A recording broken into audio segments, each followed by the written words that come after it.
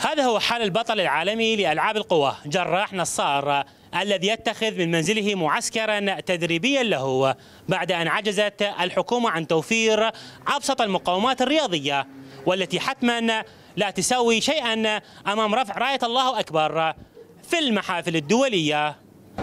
في باحة هذا المنزل المتواضع يمارس البطل العالمي جراح نصار تدريباته اليومية. والتي حصل من خلالها على الميدالية الفضية في أولمبياد طوكيو الأخيرة ليحل المركز الثاني عالميا إلا أنه بعدما رفع اسم العراق عاليا ما يزال يعيش حياة بسيطة لا ترقى لمستوى الإنجازات العالمية التي حققها.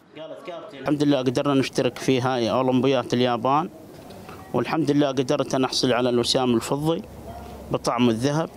شفت المنافسة كانت كلش قوية.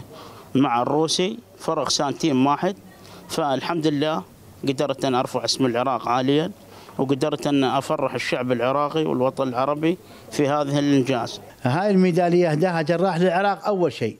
أول وهو باليابان أهداها بالعراق. ورفع علم العراق عالي. تسمع أخوي؟ فجراح وين تدريبه؟ تدريبه بالبيت هنا. يروح للسوق. يشتغل هو عنده بسطية وبعدين يجي العصر يتدرب هنا بالبيت. من يطلع برا شوية هاي جهال تذيب بالتدريب وهذه وهاي حديدة يشمرها على واحد خاف يعوره والله شيء والله هاي.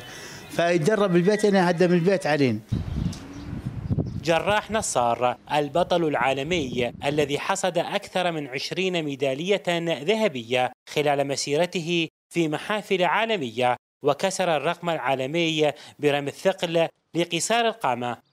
يناشد الجهات المعنية للنظر بعين العطف والرحمة لابنه الذي يعاني شللا رباعيا مؤكدا أنه لم يتوانى للحظة في خدمة الوطن وحان الوقت لرد الجميل إليه ليس أكثر. جراح عنده 20 وسام ذهبي. لا ملعب لا قاعة مال حديد وانت شفت الوضعية. وضعية تعبانة. قدرنا إحنا يعني نحصل إنجاز تاريخ قدرنا نرفع اسم العراق عاليا.